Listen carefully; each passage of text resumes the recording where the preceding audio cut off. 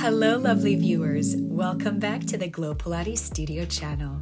I'm Julia, and thanks for joining me for this 20 minute Pilates for Desk Posture mat class.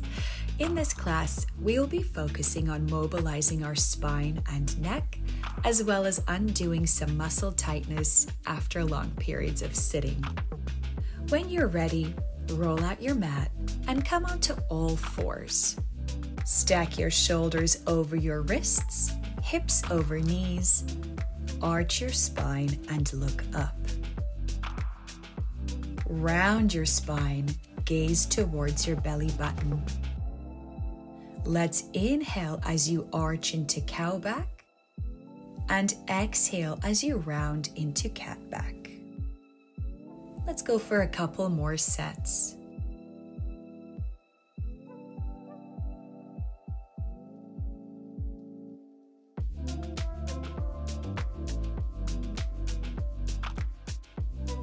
Into your neutral spine. Bring your right shoulder towards your right hip and shorten the right side of your waist. Continue on to the left side. Exhale, side bend to your right. And exhale, side bend to your left. Let's go for a couple more sets of happy dog. Think of a dog wagging its tail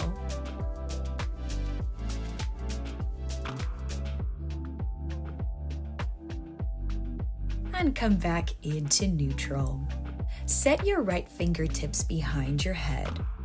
Open that right elbow towards the ceiling and then close your elbows together. Inhale to twist open and exhale to twist close. Try to use your bottom arm to push away from the floor as much as you can and keep that bottom elbow straight. Let's reach your straight right arm to the ceiling this time. Inhale past your vertical line and thread this hand underneath your left, setting your ear, cheek, and shoulder to the floor. Look up to the ceiling, push away from your left hand, and feel this deep twist.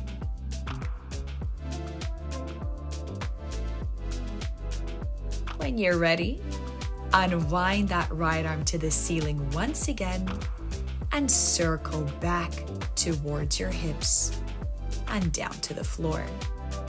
Let's switch to the other side. Left fingertips behind your head, open that elbow, and then close elbows together. Inhale, twist open. Exhale, twist close. Keep pushing away from the bottom arm to find a deeper twist.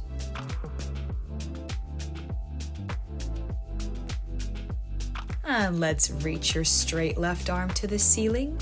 Try to inhale a little further and exhale, thread it underneath your bottom arm. Ear, cheek, and shoulder on the floor. Look up and push away from your right hand. Slightly shift your hips back to unwind to the ceiling. Reach this arm as wide open as you can and circle back and down to the floor. Sit back onto your heels and reach your arms long in front of you for child's pose. Take a couple of breaths here, and when you're ready, tuck your toes, and pike your hips into downward dog. Take a couple moments to feel your heels as close to the floor as possible, finding length through your hamstrings. Begin to march, bending one knee at a time, deepening the length behind each leg. Try to keep pressing your hips as far back towards the heels as you can and let's transition to some double heel raises. Rise to your toes and drop both heels. Inhale, rise to the toes. Exhale, drop the heels.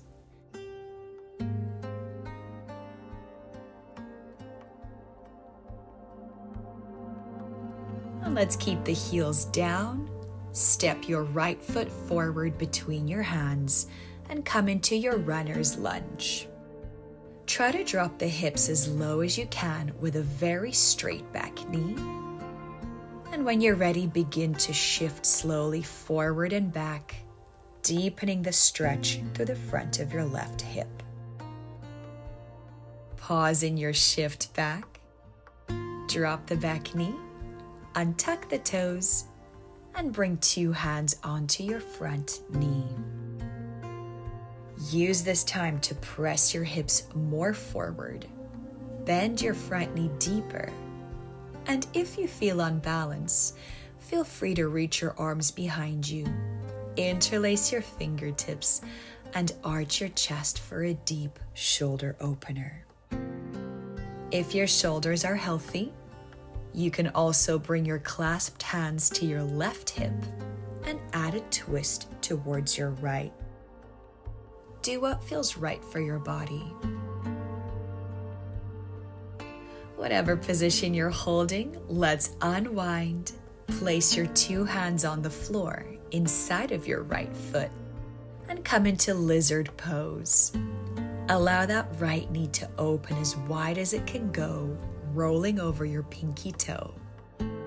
Your option is to stay here, or you can add a press from your right hand into your right knee and look up to the ceiling. Whatever version you're choosing, let's take one more breath there. And then slowly transition back into your downward dog. Either come back to your marches like before, or feel free to bend both knees, lightly releasing your heels, and then straighten the legs and bring the heels closer to the floor. I suggest taking an inhale as you bend your knees and use your exhale to press back.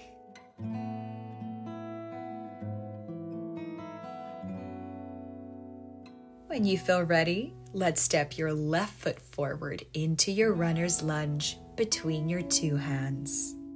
Try to keep your back knee as straight as possible and hips as low as possible as you begin to shift back and forth. Feel the length through the front of your right hip. Pause in your shift back, drop your back knee, untuck your toes, and set your two hands on your front knee. Breathe into your deeper bend of your front knee, scoop of the belly, and tuck of the tailbone. You can stay as you are or reach your arms behind you, interlace your fingertips, and come into an arch of the chest. You're also welcome to try to bring your hands to the right hip as you twist towards your left. Listen to your shoulders.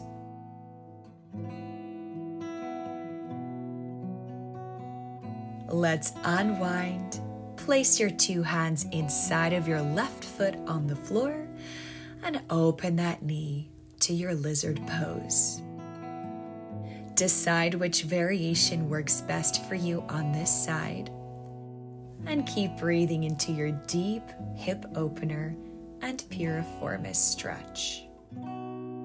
Let's take one more deep breath in whatever pose you're choosing. And then slowly come back into your downward dog once again. Feel your longest backs of the legs here so far. Rise onto your highest toes Soften your knees to the floor, untuck your toes, and sit back into child's pose once again. This time, let's reach your arms to your right diagonal. Pull away from your hands and sit deeper into your left heel. Breathe into the left side of the body.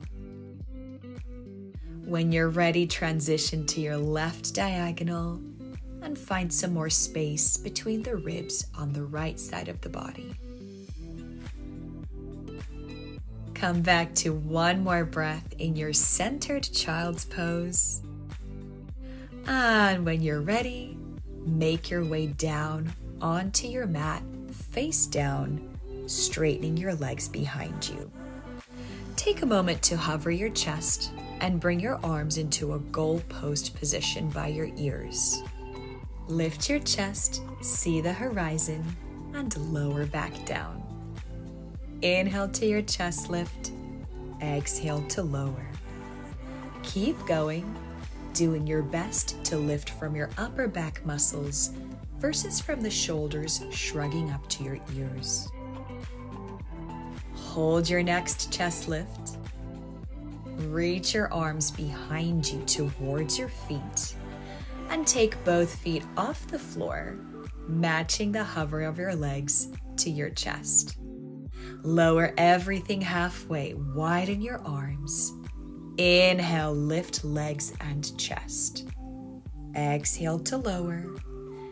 Inhale to lift. One more time into your flight position. Lower the feet back down. Lower the chest and step your hands outside of your mat for Cobra. Keep your fingertips on the floor as a light support for your chest lift. Gaze towards the horizon and roll the shoulders down and back even further. Resist to lower your chest. Step your hands underneath your shoulders and passing through Cobra, try to lift a little higher into your swan. Let your parallel elbows take you back down. Inhale through Cobra. Use your arms to lift higher for Swan. Exhale to lower back down. Let's go for one more swan position, working at whatever level works best for you.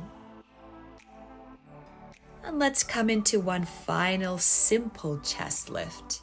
Reach your arms behind you interlace your hands and reach towards the feet for your deep shoulder opener.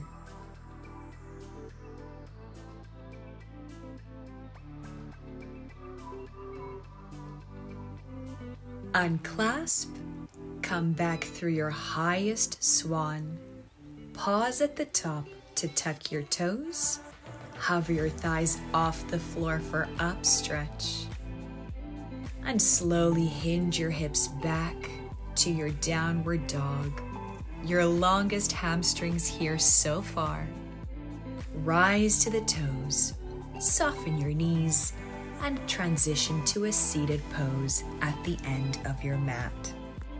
Keep your knees bent, stack your spine tall, and take behind your knees with your hands.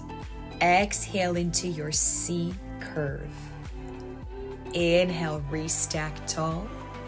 And exhale back to your C curve. Let's repeat this a couple more times, scooping your belly towards the spine. Hold on to your next C curve and reach your arms forward for a couple of breaths to press your shoulders down. Keep those shoulders pressing down as you reach your arms to the ceiling. Exhale, reach them forward. Inhale, raise the arms. And exhale, reach forward. Couple more of these to challenge your upper abdominals. And keep those arms raised as you slowly roll all the way down to the floor. Step your feet a little closer towards your sitting bones.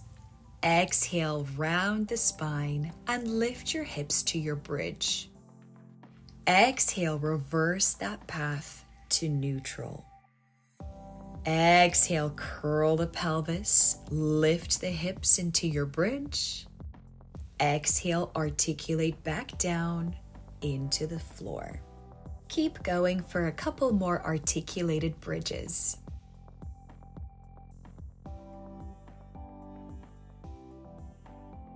Be ready to stay up in your next bridge position and take a moment to bend your elbows, pointing your fingertips to the ceiling. Let's come into some hip dips. Lower your hips halfway and lift back up. Inhale, lower. Exhale, lift. Try to connect into your glutes and hamstrings a little deeper with this motion and keep lengthening your lumbar spine. Stay up in your next bridge and let's now come into some heel lifts. Heels lift, heels lower. Inhale, lift, exhale, lower. Option here to reach your arms fully to the ceiling or keep your elbows on the floor. Let's transition into some running. Drop one heel at a time, but try not to drop your hips as you breathe naturally.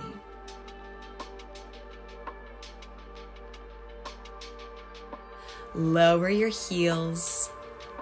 Control your descent back onto the floor.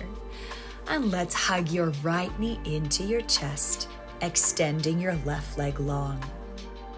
Take a moment here to interlace your fingertips below and behind your right knee. Straighten your leg and pull it towards you as far as you can. Add some circles of your upper ankle, slow and steady. And keep pulling the leg towards you with as straight a knee as you possibly can. Let's reverse those ankle circles.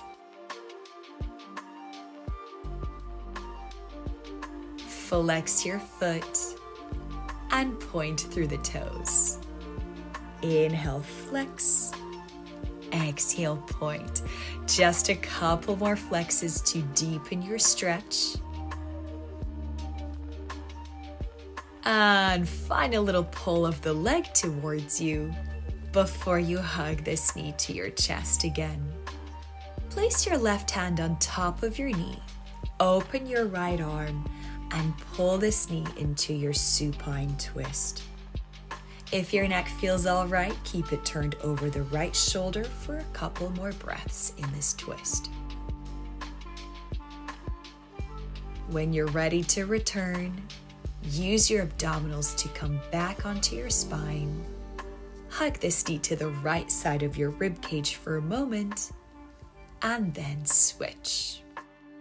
Left knee to chest. Interlace your hands below and behind your left knee.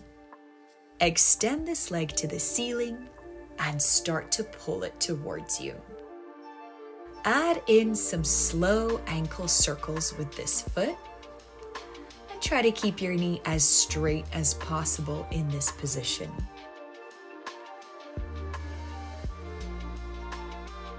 Let's reverse your ankle circles.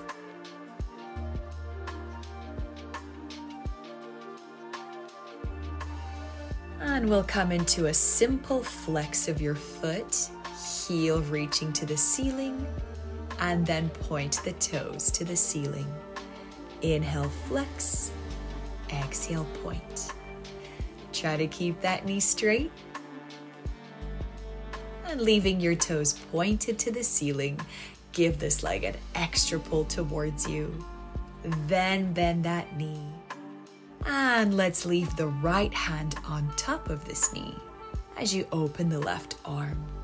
Pull this knee across your chest to your right and turn your head to the left.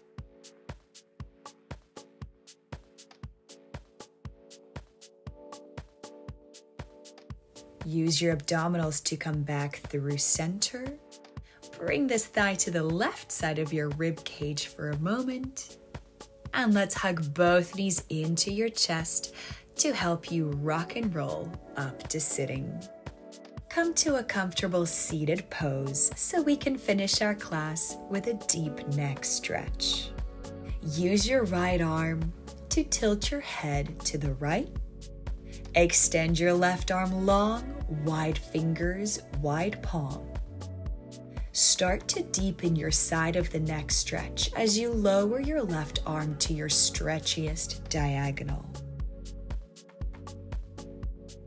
Flip your left palm back, bend your elbow, and set your hand behind your low back. Turn your face down towards the floor and think of hugging your chin to your chest. Feel free to add a little bit of movement through the head or simply hold and breathe. When you're ready to release, allow the right fingertips to help the head come back through center. And use your left arm to tilt your head to the left. Reach your right arm long, wide fingers, wide palm. And deepen the side of your neck stretch by lowering the right arm to your stretchiest diagonal. When you're ready, flip your right palm back. Bend your elbow and set this hand behind your low back. Turn your head to face the floor and hug your chin closer to the chest. Either pause and breathe or add some gentle movement through the head to let your neck stretch travel.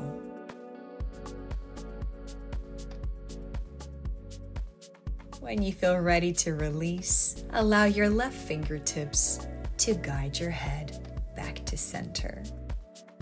Thank you so much for joining me for this class. I hope you feel a little bit more open and longer through your body.